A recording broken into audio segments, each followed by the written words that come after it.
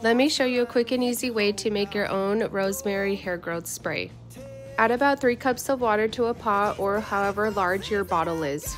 Next, add a handful of rosemary sprigs and just let it simmer for 15 minutes.